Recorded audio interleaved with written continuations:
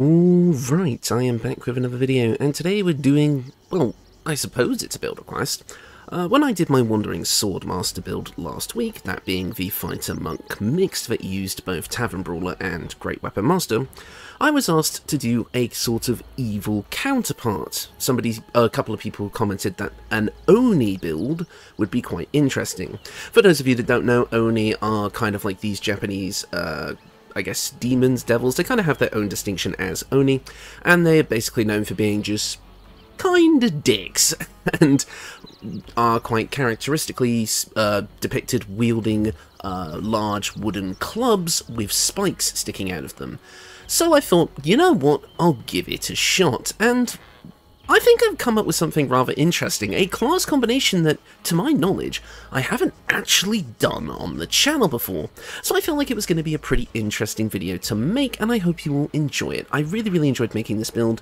Uh, you'll find that I've actually taken a few similar steps to how I made the Wandering Swordmaster build, as I kind of see these two as being diametrically opposed, straight up one for an evil run and one for a good run. In this case of the evil run, I think this character would be, again, somewhat of a wandering, like, kind of marauder, maybe a bandit, or some sort of just completely blood-raged warrior, just somebody who kills for the sake of killing, and, you know, to satisfy their own I, I mean, you could play this as a Dark Urge if you wanted to satisfy your urges, but maybe it could just be to just satisfy their bloodlust, they just want to kill. So Dark Urge could absolutely work for this build, but I've not built it as a Dark Urge, but you can absolutely do that if you want to. And yeah, I think this guy is just kind of a big brute who's very, very strong, but there is kind of a caveat to his character. He is strong, but only for a certain reason, and we'll get to that later, but I think it'll be pretty obvious. So let's get into the build.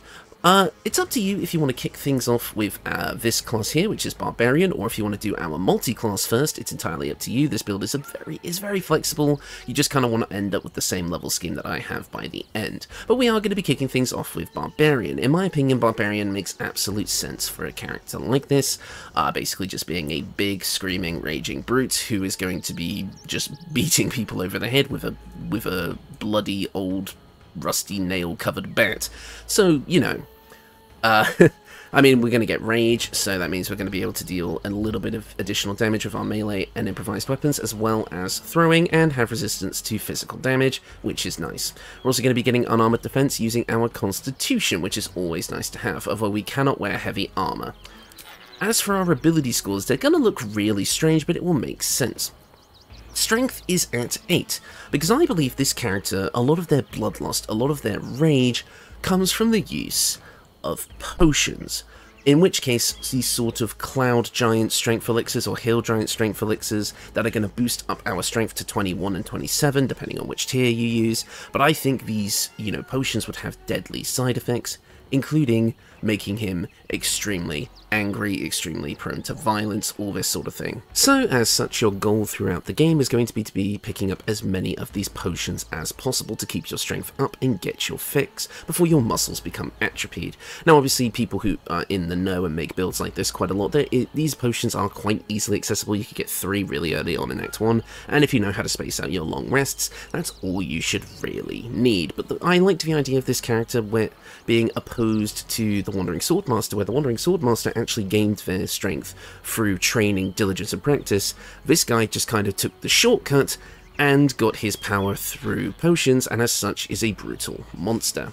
Dexterity is at 16. Uh, this is just mainly here for our armor class and our initiative rolls. Constitution is at 15. Uh, i am going to be using a half feat to bump this up, but if you decide you don't want that half feat, feel free to change the ability scores around a bit. Intelligence at 8, we don't need it. Wisdom at 10, we had some skill points left over, and this is what I decided to put them in, so our wisdom saving throws aren't totally abysmal. And finally, Charisma at 16. I want this guy to be good at intimidation checks, and this is going to fuel some features we're going to be getting later. As for our skill proficiencies, again, if you went Dark Urge, you'd have the Haunted One background, so you'd get uh, Medicine and Intimidation, which is perfect, but I've chosen the Outlander background once again, as, again, I believe this guy would be out in the world quite a lot, so it makes sense for him to have both Athletics, which we do want for this build, and Survival, which is kind of just an add-on. And then we also gain Intimidation just because we are an half Orc, and half Orcs as well come with a really nice, come with a couple of really nice abilities like Relentless Endurance and the ability to, um, you know, get extra damage on a critical hit, which is going to be really nice for this build. You'll see what I mean as we get to it. So this build is perfect for a half orc. I would definitely, it's, it's not required, but it's kind of required, you know, if you catch my meaning. And as for our final skill proficiencies, we're also going to be grabbing perception and nature, because I don't think this guy would have animal handling, and it's all that's left to us. At Barbarian level 2, we're going to be getting Reckless Attack, allowing us to always gain advantage on our attack rolls whenever we like, which is going to matter quite a lot for this build. Next up at level 3 we're going to be able to pick up our subclass, and I'm of course going with Berserker. Although the subclass for this build doesn't matter as much, it depends on kind of how you want to build it, you can kind of change things up. Wild Heart or Wild Magic will absolutely work, but for the strategy I'm going for, we're going with Berserker. Berserker is going to turn our range into a Frenzy, like giving us a few options as a bonus action, that being Frenzied Strike, allowing us to make additional weapon attacks, and Enraged Throw, allowing us to pick up an item or creature and throw them at a target, dealing additional damage and potentially knocking them prone. Our strength affects how much weight we can throw, and heavier items deal more damage. This is where the uh, potions of strength come in really, really nicely, because a 21 or a 27 in strength means you can freaking throw even regular humanoids really fast far. Uh, and the damage of our thrown weapons is the same as the weapon's base melee damage, which is also really nice. So if you wanted to start chucking weapons around, you absolutely could, and you'll also deal additional damage based on your strength. Our throws are going to be absolutely insane. So yeah, we get those two abilities. Now, it's entirely up to you if you want to take level 4 here and gain the extra feat.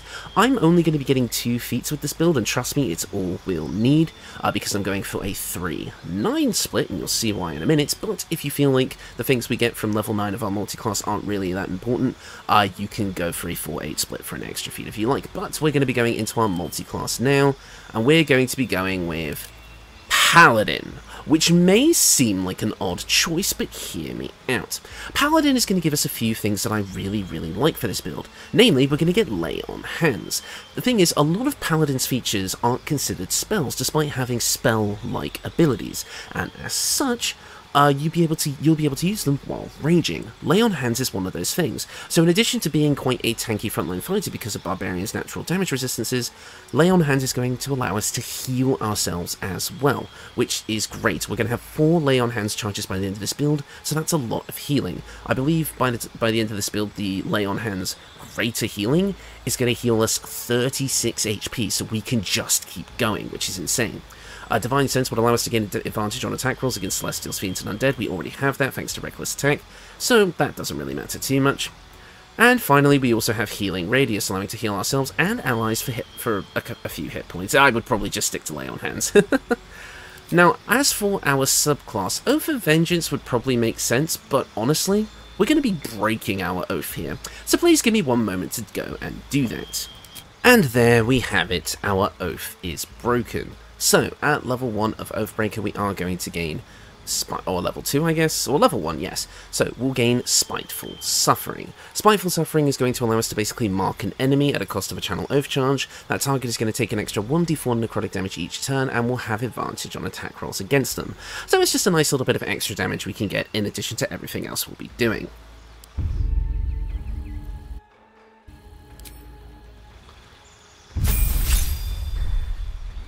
So, next up, at Paladin level 2, we're going to be getting all of the stuff we like from Paladin.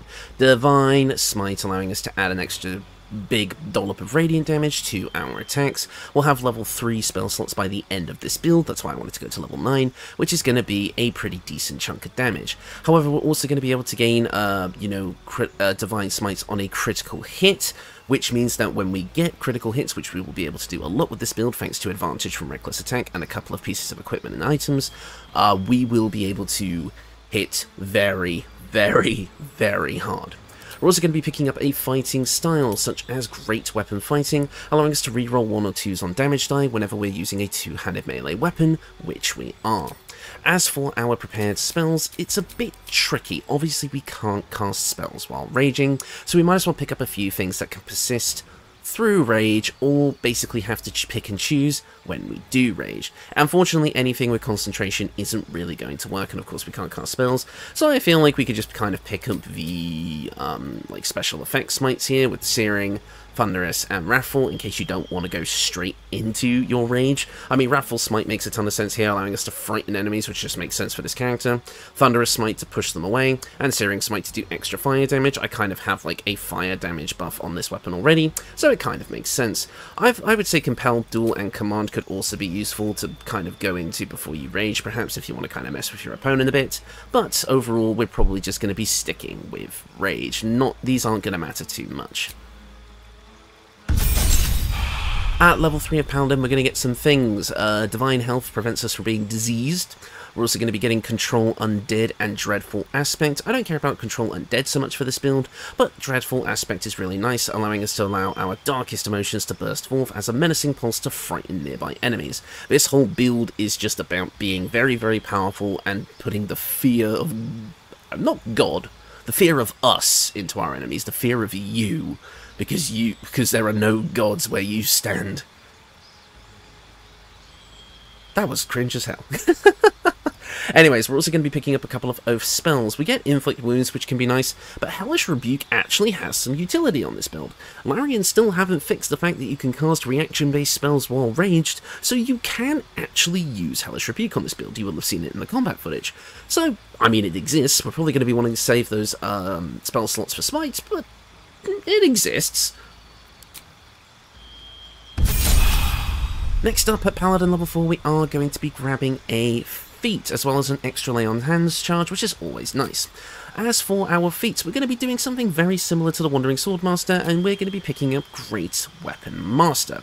Great Weapon Master is going to allow us to, whenever we land a critical hit or kill a target with a melee weapon attack, which again, we're going to be doing a lot, this build is very, very much going to be getting crits, as well as killing targets just with our sheer power, you'll be able to make another melee weapon attack as a bonus action that turn. So you're basically always going to have the opportunity to get off a bonus action attack as long as you're just absolutely wrecking people, which is nice.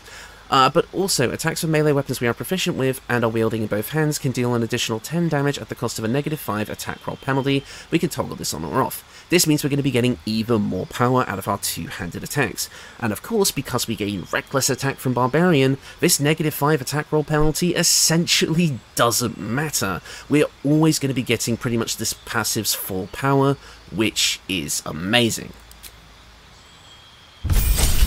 At level 5 of Barbarian, we're going... Uh, level 5 Barbarian? Level 5 of Paladin. We're going to be getting extra attack. Now, obviously, getting extra attack at total level 8 sucks. So if you want to adjust the levels of this build, maybe you just want to go all the way in Barbarian or Paladin first, and then respec later, you absolutely can. Just be mindful that with this build, obviously playing an Oathbreaker means you cannot respec. You'll have to restore your Oath before you can respec, and then break it again, which is going to be a pain in the ass. But we kind of have to do it. I mean, you don't have to play this build as an Oathbreaker. You can play it as an Oath of Vengeance, and I think it would also still work. However, if you're playing this as an evil character, it's going to be very, very hard to keep your Oath. So I just kind of said, you know what, Oathbreaker works. So, but like I say, feel free around to play around with the levels of this build. Maybe go to level 5 in Paladin first before you get the Barbarian stuff it's entirely up to you. But with level 5 of Barbarian, we're getting extra attack, which is great for us. We're also going to get access to level 2 spells, including our Oath spells, which are Crown of Madness and Darkness. Obviously, Darkness can be used on this build, but obviously not while raging, but it could be another way to kind of give yourself a bit of extra tankiness if you're in a pinch. And Crown of Madness makes enemies go mad with fear, I guess. Again, we're not really casting spells with this build. Although there is a couple we can cast here, Aid being one of them, just giving us a little bit of extra healing, but I would rather have the Cleric in the party do this. Protection from poison would just give us, I mean, resistance to poison damage, and not allow us to get poisoned as easily, so it could be useful. And then finally, Branding Smite. Might as well just get all of the uh, kind of special smite spells while we're here. Next up at Paladin level 6, we're going to be picking up the Aura of Protection. Ourselves and nearby allies are going to gain a plus, are going to gain a bonus to saving throws equal to our Charisma modifier. For us, at a 16 Charisma, that's going to be a plus 3, so not the highest, but definitely might as well have it. And at level 7, we're also going to be picking up Aura of Hate, allowing us to deal an additional uh, bit of damage equal to our Charisma modifier, um, with our weapon attacks. So again, for us, that's an extra 3 damage, which isn't a lot in the grand scheme of things, but hey, 3 damage over potentially 3 attacks per turn, that's an extra 9 damage, that's not bad. Again, if you decided to go for maybe like a different leveling spread where you got an extra little bit of, uh, you know, like an extra feat, and you're able to put your uh, ability scores into uh, Charisma, this would obviously go up a bit, or you could use some equipment. It's entirely up to you, but I think you'll find that the equipment I've chosen for this build works out pretty nicely. And yeah, we don't need to really think about any other spells, I don't think. And finally, at Paladin level 8, we're going to be picking up uh, another feat. And, I mean, I'm kind of treading a similar ground a lot here. Uh, we're going to be grabbing Tavern Brawler. And you could pick this or Great Weapon Master up first, it's entirely up to you. But the reason I want Tavern Brawler is because we have a lot of ways to use improvised weapons and throwing, allowing us to add our strength modifier twice to the damage and attack rolls.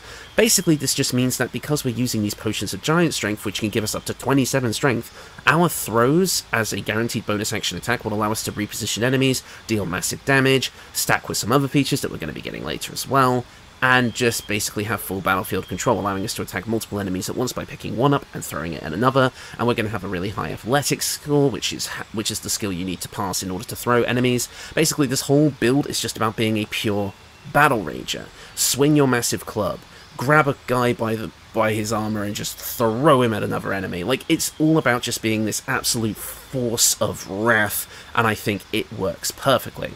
Tavern Brawler is also a half feat, and since we don't need to level strength at all, we can bump up our constitution to a 16 here.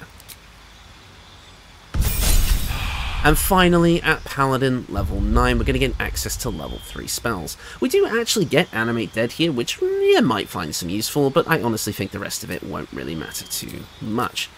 I would say that for spells, I mean, pick whatever you like, it really doesn't matter. Again, we're not exactly going to be using these, but Warden of Vitality could get some use. This isn't a spell that you necessarily have to concentrate on, so you might be able to kind of use this while you're raging. I don't know, I didn't test it. I probably should have remembered to test it. Someone let me know if Warden of Vitality works while raging. I think it does. And Blinding Smite just to kind of complete the special Smite kit, I guess. We've collected them all, except for Banishing Smite, which only bards get. Still salty about that one. And that is the build. Overall, you're going to be getting a ton out of this build. Guaranteed Great Weapon Master pretty much with thanks to Reckless Attack. Uh, massive smite damage because of our ability to deal a lot of critical hits, again with advantage, and some stuff I'll get into in a minute. Divine Smite is just going to give us a ton of power. The ability to heal yourself with Lay on Hands, uh, dealing, like I said, a pretty decent chunk of healing out of our 116 hit points. And the ability to give yourself buffs with things like Aura of Protection and Aura of Hate, as well as things like Aid and such as well. You will be an absolute powerhouse without any sort of, with just a couple of the buffs I have. Our main hand weapon attacks are going to be doing anywhere from 25 to 35 damage per hit, and a full Divine Smite, which has an awesome red blood aura here, which I love, we're going to be doing upwards of 67 damage. This is not including critical hit reactions, which could be absolutely devastating. Can you turn around, please, Mr. Oni? Thank you very much yeah, get get back into your pose, your fancy pose. And also we're going to get extra things from like Spiteful Suffering, which can add even more damage. Like, there's just so much. And we're able to even control the battlefield with being able to threaten our enemies and throw them around. So there's just a ton to this build. There's a lot of utility. There's healing, massive damage, battlefield control. This build has everything. So it's interesting to see how using both Great Weapon Master and Tavern Brawler again in a, in a build, but the build's playstyle is completely different.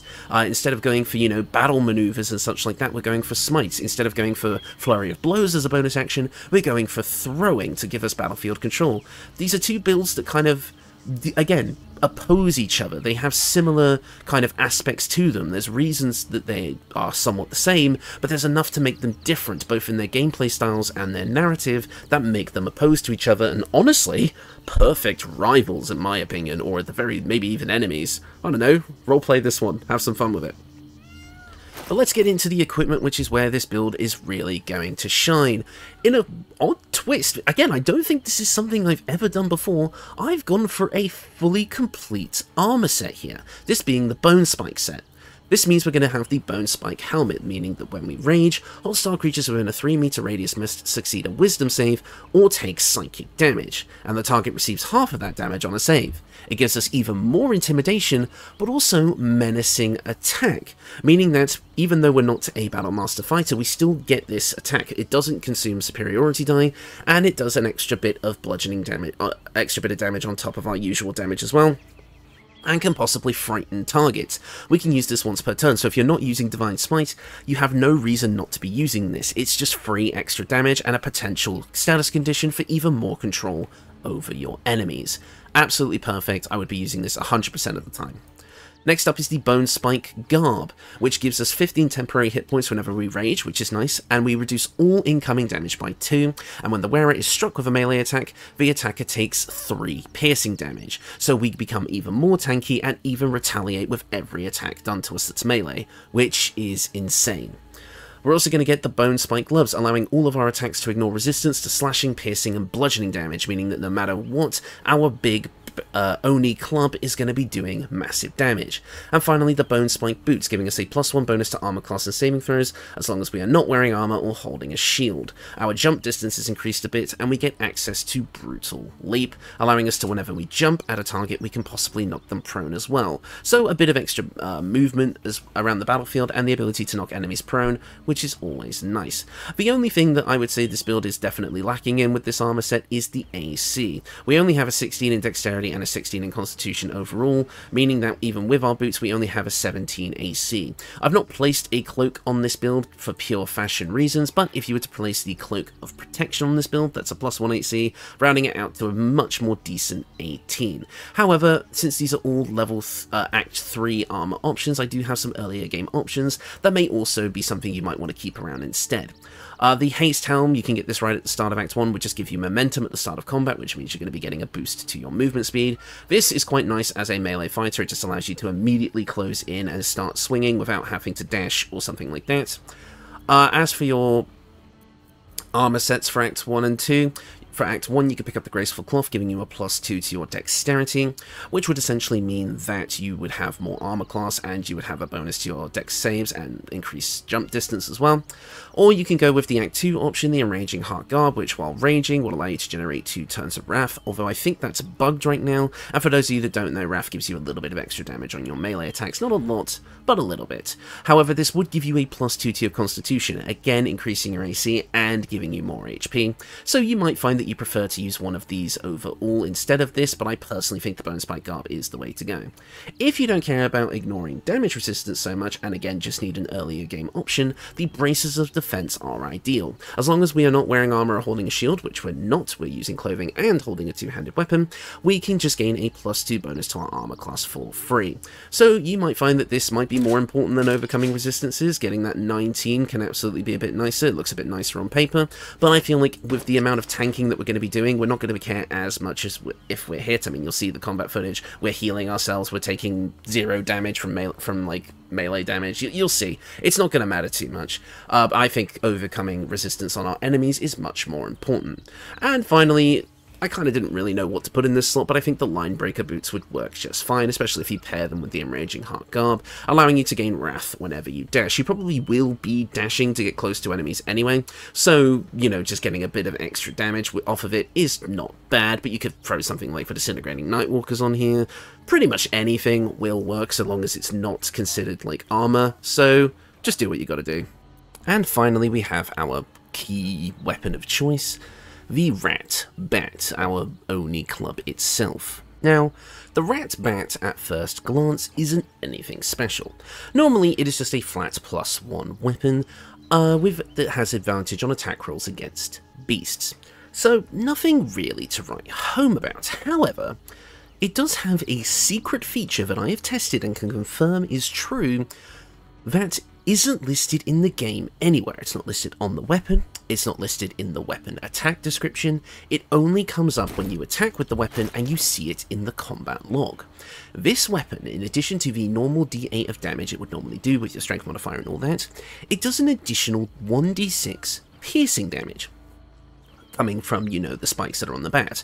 For some reason, this isn't mentioned anywhere at all, but it is there, so it's a 1d8 plus a 1d6, which is really nice. Uh, it doesn't get any bonuses from things like uh, Great Weapon Master or anything like that, it is just an extra d6 of damage, but hey, we take those. I've also decided to buff it to a plus 2 weapon with a bit of extra fire damage, thanks to the Drakethroat Glaive's Draconic Elemental weapon, just giving it a bit more of a boost so it feels more on par with other weapons in Act 3. However, you'll see that with everything that we have here, like I say, with our, you know, Great Weapon Master and all the other buffs that we're stacking, or with something like Menacing Attack, um, we don't, it's not exactly going to matter. We could do this with a freaking toothpick, and we would probably do tons of damage. But let's quickly go over the accessories as well. I've gone with the Broodmother's Revenge. Again, we're not exactly using the most powerful weapon in the world, so giving ourselves a bit of a 1d6 buff, uh, poison damage buff whenever we are healed, either through Lay on Hands or through our Ring of Regeneration. This basically just means that we'll be able to constantly get even more damage out of our attacks, and that bit of extra poison is always nice. And finally, we've also got the Killer's Sweetheart, which means that whenever we kill an enemy, we gain a kind of bankable reaction that we can spend whenever we like to guarantee a critical hit. The ring of the ring's description is a bit misleading. It says your next attack roll will be a critical hit, but really it's actually just a kind of reaction that you can just spend whenever, and you can do it once per long rest. So mixing this with, um, you know, the fact that we have advantage, that we have a guaranteed crit as well, we're going to be critting quite a lot.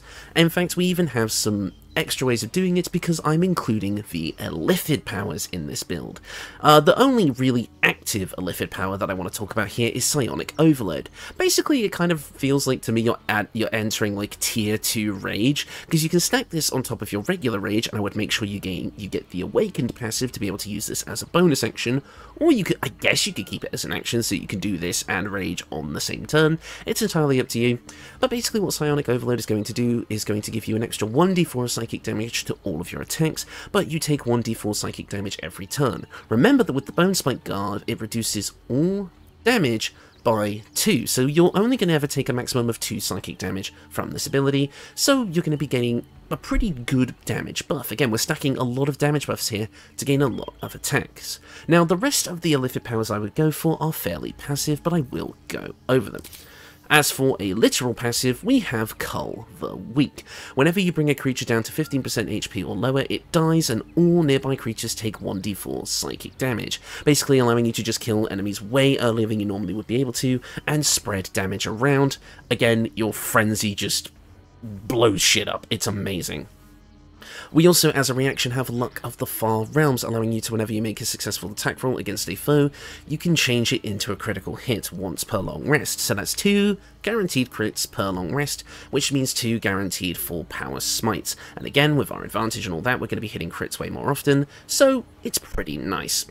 Uh, as for our other Illithid power that I want to talk about here, there are a couple. I'll just pull up my document to make sure I don't forget any.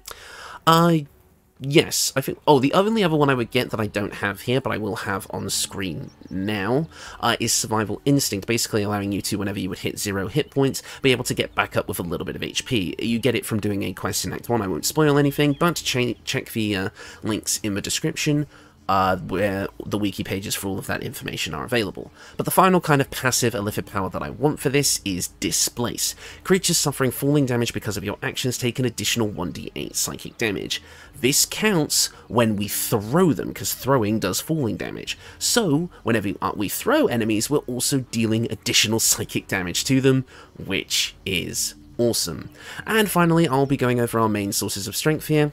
Uh, the kind of earlier tier potion you're going to be getting is the Elixir of Hill Giant Strength, which sets your strength to 21, and the Elixir of Cloud Giant Strength, which you'll get in the later game, which sets it to 27. Uh, the combat footage you'll be seeing, I guess now, because that is the build, but also uh, you would have seen a bit of it at the start, does use the 27 variant, because this is an Act 3 test, and I thought you get this potion in Act 3, so I decided to be a little bit cheeky, but the 21 strength potion will still do just fine. And as you can see, despite some potential hangups of maybe slightly lower AC and all this and that, we do a ton of damage. Like, absolutely shred our foes. Basically, if we choose someone to be the to be the recipient of a divine smite, uh, they don't survive. And our regular weapon attacks and our throwing damage do enough to keep the entire battlefield in check. Uh, and we are very, very tanky. We don't take a lot of damage from a lot of our enemies' attacks, and we're constantly dealing damage back to them thanks to the Bonespike Garb. And then, in the end, you'll see that when we do get to about half HP, I'm just able to heal back a huge chunk of it thanks to Lay on Hands. So yeah, overall this build is extremely strong. Uh, but here is the question. Is this build stronger, the same or slightly weaker than my Wandering Swordmaster? Which is kind of a similar concept done in a different way. And honestly, I have no idea. They both have their strengths. I would say the Wandering Swordmaster is definitely, you know, less likely to get hit overall and still deal quite a lot of damage thanks to Flurry of Blows and stuff, but then again we have Divine Smite on this build, as well as the ability to use Menacing Attack as much as we like, so we're kind of always getting that Battle Master damage buff it's hard to say which of these builds would actually win in a pure damage competition, or hell, if they were even to fight each other. I mean, probably the Oni if we're being honest, because as soon as you hit a smite, they're probably just done. But I don't know, I feel like this, these builds, while being somewhat similar, I guess in the feat choice, the fact that the classes and subclasses interact in many different ways, and the equipment changes things, and the, um, uh, the fact that this build uses Illithid powers, the fact, despite the fact that they are somewhat similar concepts, the execution is completely different, and I absolutely love it. Uh, anyways, a couple of channel updates. Um, I mean, this build's going up on the mon on the Monday, so I guess, yeah. Uh, starting this weekend, uh, you guys may have noticed up until now that I've been uploading modded builds to the channel, or, you know, D&D videos, or basically just extra stuff on the weekends. Uh, I'm sorry to say that's going to be stopping for a while. Uh, I decided after my unfortunate break where I had when I when I was ill and I had to take some time off, I would upload extra videos on the weekends to uh, kind of make up the difference. But to be honest, it's not worked out. Uh, Long story short, these extra videos I've been uploading are usually my lowest performing ones, and the fact that they take extra time away from me um, being able to do other things, like life stuff and personal projects, I've decided to can the um, weekend videos for now, going back to three videos a week with a stream on the weekends. This is just going to help me uh, be able to work on more stuff. I want to play more games that might be good fits for the channel, like, um, you know, finally maybe do some Elden Ring stuff, maybe, and maybe, and like finish Dragon's Dogma 2 to see if that might be worth playing on the channel. Some people have expressed interest interest of me doing just like gameplay videos where I'm just kind of chilling and vibing and like going maybe going through my build making process as I play through a game. I don't know about that one so much. I don't think that would be very entertaining because usually when I play games I just kind of sit around like, yep, uh-huh. Okay, that attack was bullshit. So I'm probably not gonna do that, but if you express but if enough people are interested in it, I'm sure I could give it a try. But that feels like it might be more of a live stream thing rather than an actual gameplay thing. So feel free to check out the live streams. By the way, for those of you who were at the live stream uh, this past weekend, I hope it was a good time. Anyways, uh, I, yeah, I don't think there's much else for me to say. Obviously, the big channel update is that there's going to be a slight reduction in uploads, but other than that, and, and, the fact that I might be possibly experimenting with more things in the future with different games, uh, and yeah, I mean, modded builds will return when Larian gives us the official support, the official modding tools, and the ability to download them on console. Then I'll go absolutely crazy on that stuff, but for now, I'm going to take it back a little bit. Take it back now, y'all. You know, th that was awful. yeah, I don't think there's anything much else to say, but, like, again, I guess thank you for the continued support. Uh, we, we're probably going to be hitting 8,000 subs in a couple of weeks or so. That'll be fun. Uh, yeah, I mean, the goal is still 10k, so hopefully we'll eventually get there. But yeah, you know what, I'm going to stop rambling. I kind of wanted to keep the dialogue going so that the combat footage can finish, uh, but we'll see. Um, anyways, thank you all so much for watching, and I will see you all next time.